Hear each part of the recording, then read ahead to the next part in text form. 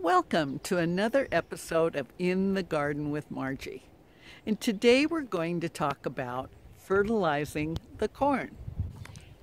Corn is a heavy feeder, so it's important to fertilize it regularly. Fish emulsion is a great organic fertilizer for any heavy feeders that require a high nitrogen diet. This includes tomatoes, beans, cucumbers, zucchini, watermelon, broccoli, and Brussels sprouts, just to name a few.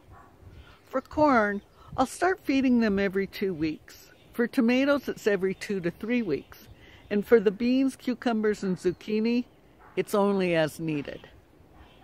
Now I created a written log so I can keep track of when to feed the various plants.